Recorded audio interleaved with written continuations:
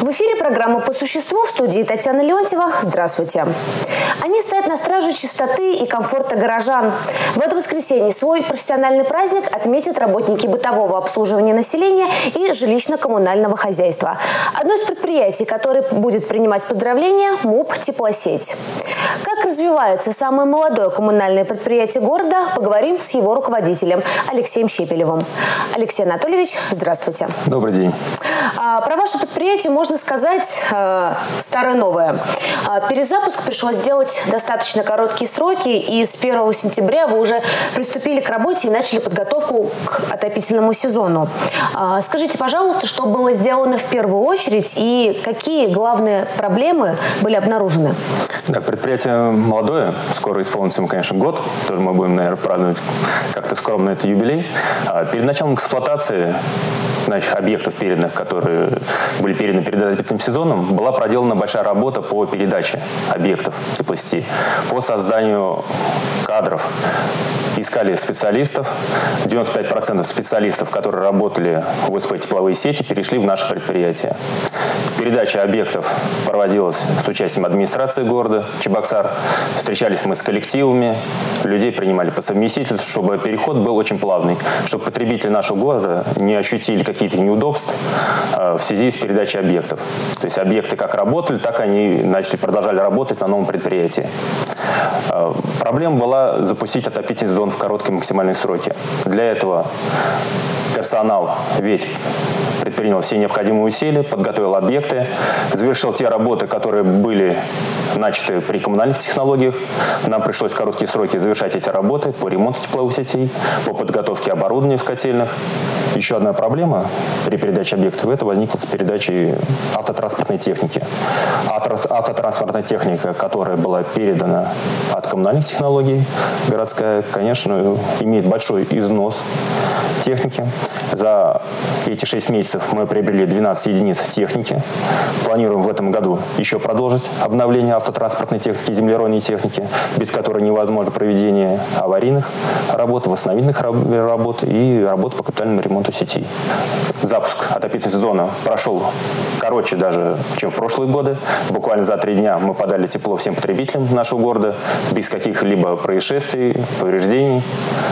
Ну, то есть вот такие короткие сроки пришлось нам укладываться.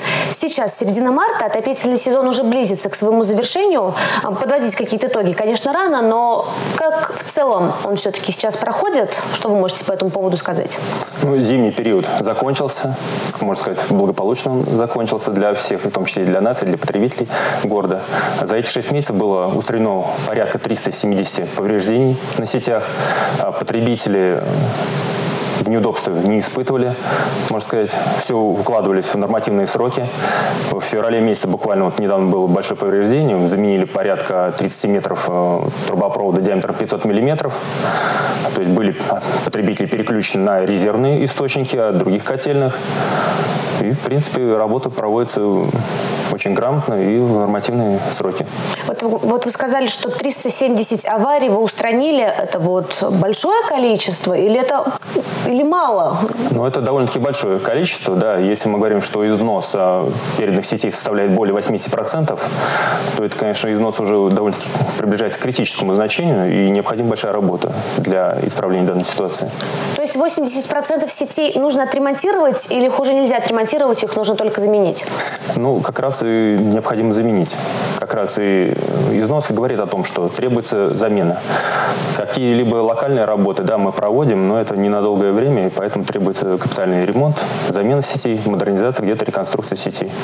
А расскажите о планах на этот год. Сколько сетей вы планируете отремонтировать? На этот год у нас запланирована замена порядка 12 километров сетей, потом ремонт оборудования в котельных, в тепловых пунктах, в ЦТП, то есть работа довольно-таки большая. За прошлый год нам удалось за 4 месяца заменить 3,6 километров сетей, выполнить ремонт оборудования в котельных. То есть все это без как бы, последствий и без... Наши горожане не почувствовали неудобств А скажите, пожалуйста, вот растет ли какая-то инвестиционная составляющая, то есть на какие средства вы планируете выполнять ремонтные работы? Пока работы проводятся все в планах э, капитального ремонта, производственной программы, которая введена Республиканской службой по тарифам. В этих рамках мы работаем. С 2020 года планируется, что будет утверждена инвестиционная программа предприятия, где запланированы необходимые мероприятия, которые направлены на улучшение ситуации по теплоснабжению наших потребителей, модернизации оборудования, ремонту оборудования, строительство новых объектов теплоснабжения, в том числе и Заволжье, куда газ планируется, что придет, наверное, на следующий год. Есть какие-то уже конкретные примеры, примеры проектов инвестиционных, вот что точно будет реализовано на территории города Чебоксары? Ну, предприятие сейчас занимается активной разработкой проектной документации для участия и в том числе и в федеральных проектах по модернизации и капитальному ремонту сетей города Чебоксары, в том числе и по строительству новых объектов. А в какие сроки вы планируете утвердить вот эти инвестпроекты в этом году, в будущем году? Ну, инвестпрограмма должна быть утверждена в этом году, осенью этого года. Ну, а реализация начнется с 2020 года.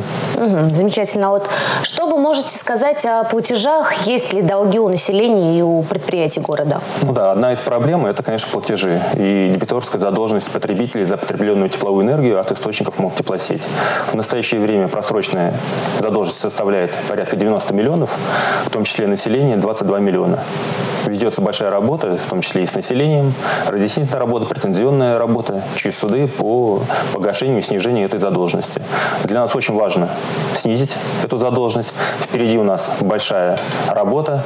Летом нужно заменить очень много сетей, оборудования, поэтому финансовые средства очень необходимы для реализации всех из предусмотренных мероприятий. Если сравнить с аналогичным периодом прошлого года или прошлых лет, а сумма задолженности, конечно, значительно меньше.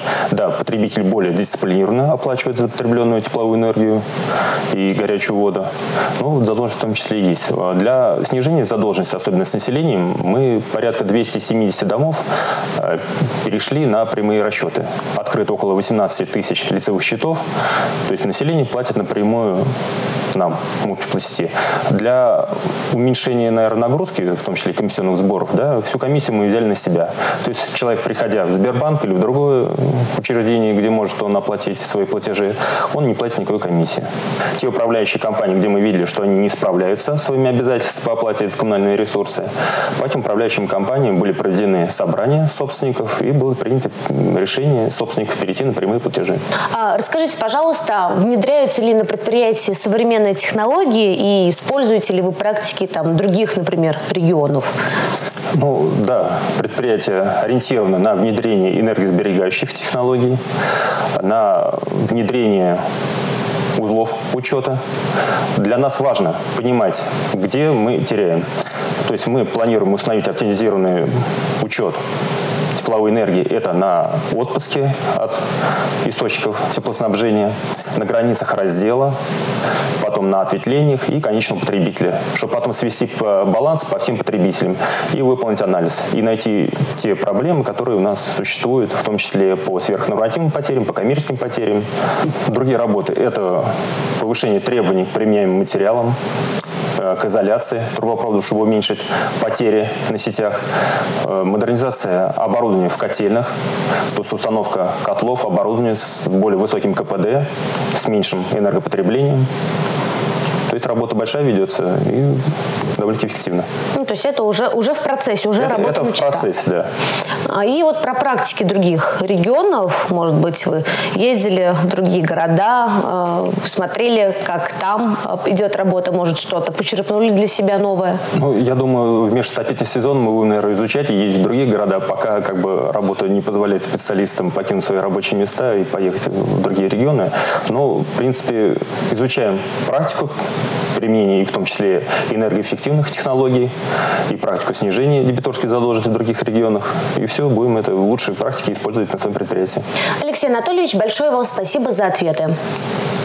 Это была передача по существу. До свидания.